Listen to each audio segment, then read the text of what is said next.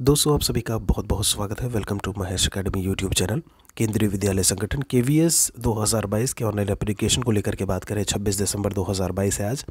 आवेदन की शुरुआत आपकी 5 दिसंबर से हुई थी। 26 तारीख आज लास्ट डेट है।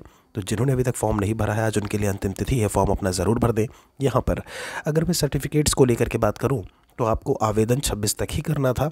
ऐसे में भले ही वो आपका सर्टिफिकेट बन करके ना आए, लेकिन आप जितने भी आपके सर्टिफिकेट है, चाहे ई डब्ल्यू एस हो S C S T O B C O B C N C L की, वो सभी आपको 26 से पहले इसके लिए आवेदन कर देना था। यहाँ पर एक हम आपको एक स्टूडेंट का दिखा रहे हैं कि किस तरीके से ओ बी सी का जो सर्टिफिकेट है, आप देख पा रहे होंगे तेईस बारह दो हज़ार बाईस को जो है वो इशू जारी करने की तिथि यहाँ पर लिखी हुई है।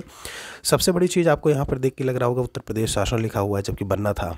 जब हम बात करते हैं आपके सेंट्रल गवर्नमेंट का, जरा यहाँ पर पढ़िएगा। इसमें लिखा है form of certificate to be produced by other backward classes applying for the appointment to post ध्यान दीजिएगा to post under government of India यहाँ पर गवर्नमेंट ऑफ़ इंडिया का ही है ये तो बिल्कुल से कंफ्यूज नहीं होइएगा। इसमें सारी डिटेल आपकी स्टूडेंट की रहेगी, और उसके बाद नीचे जब आप देखेंगे तो यहाँ पर जो भी हैं, सक्षम अधिकारी तहसीलदार जिनकी भी बात करें यहाँ पर, जैसे रायबरेली से आपका इशू हुआ है तो उसके बारे में यहाँ पर इन्फॉर्मेशन दी हुई है। कुछ इस तरीके से ओ बी का सर्टिफिकेट है।